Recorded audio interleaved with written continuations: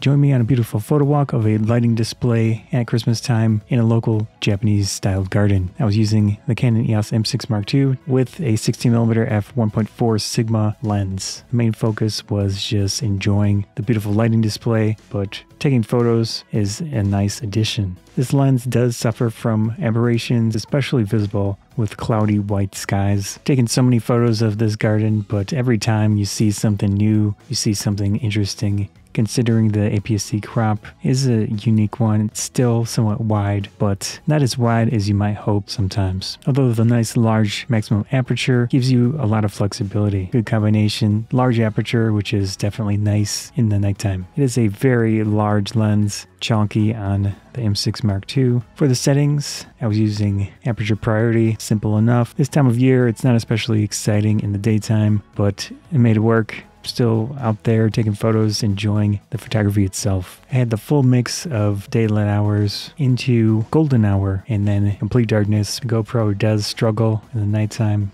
as you'll see, stabilization starts to fall apart. If you love RGB gaming PCs, maybe maybe things like this will be a good match for you. Take your camera out, take some photos of all the RGB. The Sigma 16mm is pretty nice up close. Get photos of small berries, leaves, anything in the area that you notice want to feature in your photo, yet get a nice blurred out background. Get up close course, shooting in aperture priority, you have the option to adjust exposure compensation or just let the camera do its thing. In this case, it will expose for the sky sometimes, which actually looks very nice. The building lights in combination with the exterior lighting display was a good photo opportunity, so definitely took advantage of that. Got dark enough that the lighting display was the key focus. Then I switched pretty much to f1.4 to get the maximum amount of light into the camera. The lighting display completely changes the dynamic of photography at the garden. They created focal points with the lights and you notice different things as you walk around.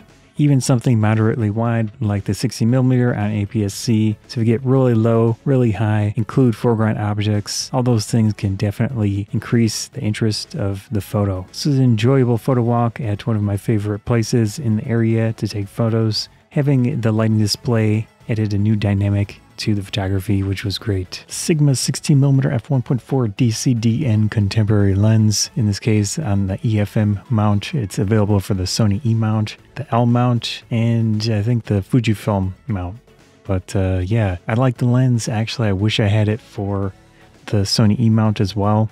Just in video situations, it's really, really nice. The focal length, I think, works well for that, considering all the crop and such. I'm about arm's length from uh, the lens. Looks good. I'm actually at f1.4, 160th of a second, ISO 400. So I have two very not bright lights going on and then one in the background. Obviously in the photo situations, I don't think it's an amazing lens optically, but it's at least for the EFM mount, you don't have a lot of options. So in this case, I think it is a good general option for this specific mount. Now, if you get into the Sony E mount, things like that. In photography situations you might want to look around make sure that it you know compares well to other options. Anyways hope you enjoyed this video. I'm scott Photography Banzai thanks